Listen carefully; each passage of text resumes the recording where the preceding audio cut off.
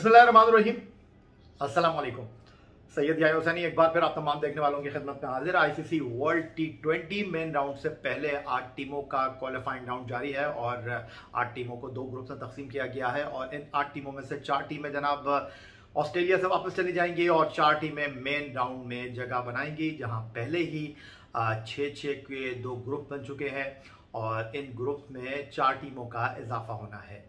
Geelong जनाब, group A के मुकाबलों की मेज़बानी कर रहा है, जहाँ श्रीलंका के साथ निमेबिया है यूएई और नेदरलैंड की टीम है। होबार्ट ग्रुप टू के मुकाबलों की मेज़बानी कर रहा है और ग्रुप बी में वेस्ट इंडीज़ की टीम है, स्कॉटलैंड की टीम है, आयरिश टीम है और उसके साथ जिम्बाब्वे की टीम है। बड़े दिलचस्प मुकाबले उम्मीद की जा रही है कि यहाँ पर होंगे और पहले दो दिन जो चार मैच हुए हैं, उनमें दो ऐसे नतज सामने आए हैं। जिनको लोग अपसेट से ताबीर कर रहे हैं। बट मेरा अपना ज़ाती ख्याल ये है कि वेस्ट इंडीज़ और श्रीलंका की टीमें हारी ज़रूर हैं बट इस टूर्नामेंट में उनके लिए वापसी का रास्ता अभी बंद हुआ नहीं है।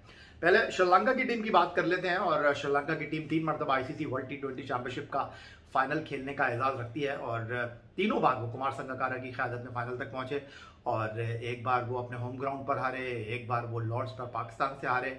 और 2014 में फिर वो चैंपियन बन गए भारत को शिकस्त देकर लेकिन आ, उनको जी लॉन्ग में अपने पहले मैच में हैरान कन तौर पर नाकामी से दो चार होना पड़ा पचपन रन से वो निमीबिया से जीत नहीं सके। बट निमीबिया की टीम कुछ छोटी टीम नहीं है। लास्ट टाइम भी वो मेन राउंड में आए थे। और श्रीलंका की टीम की ये नाकामी इस एतबार से बहुत ज़्यादा नोटिस की जा रही है कि ये टीम ने बड़ी शानदार कारकर्दगी का मुजाहरा किया था।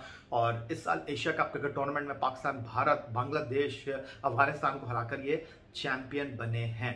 But on the other side इसी ग्रुप में यूएई की टीम को अपने पहले मैच में नाकामी का सामना करना पड़ा है नेदरलैंड से और नेदरलैंड ने इस टीम को शिकस्त दी है। तो अब मामला ये है कि जो श्रीलंका है, उसका अगला मैच है जनाब 18 अक्टूबर को।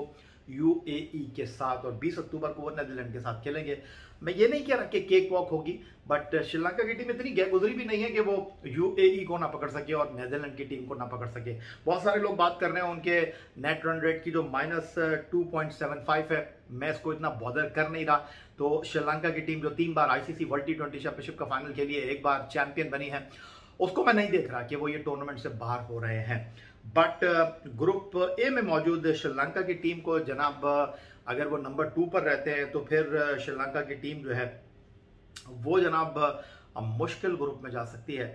और मुश्किल ग्रुप में उनको जो है, वो फेस करना पड़ सकता है ग्रुप टू में। तो बाज़ार यही लग रहा है कि पाकिस्तान, बांग्लादेश और इंडिया के साथ वो ग्रुप टू में होंगे।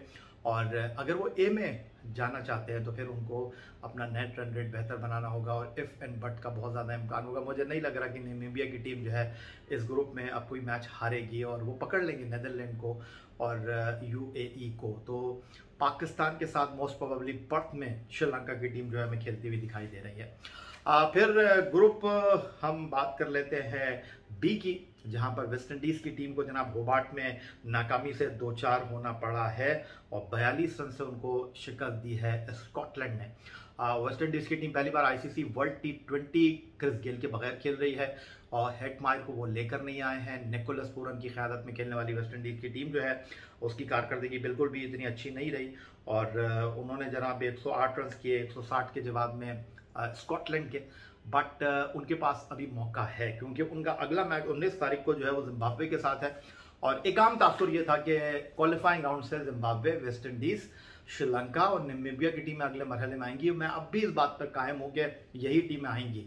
लेकिन अगर जिम्बाब्वे की टीम ने दबोच लिया वेस्ट इंडीज की टीम को होबार्ट में उन्नीस अक्टूबर को तो फिर उनका आखिरी मैच जो कि आयरिश टीम के साथ होना है जनाब वो एक डेड रबर होगा 21 अक्टूबर को।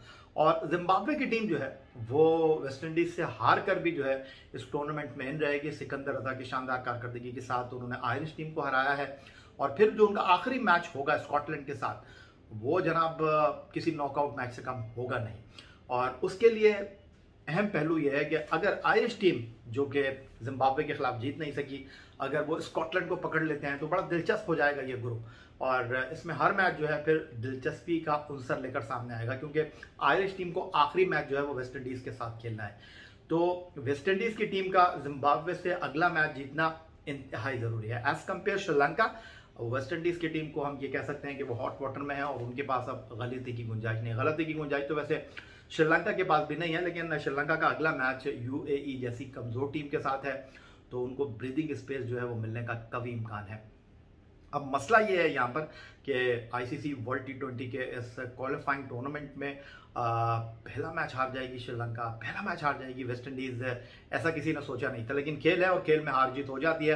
मेरा ख्याल है कि श्रीलंका अगर आपको याद हो पहला मैच बहुत बुरी तरीके से हारे थे एशिया कप के टूर्नामेंट में वो दुबई में अफ़गानिस्तान के खिलाफ और लगा कि ये टीम आगे जाएगी नहीं।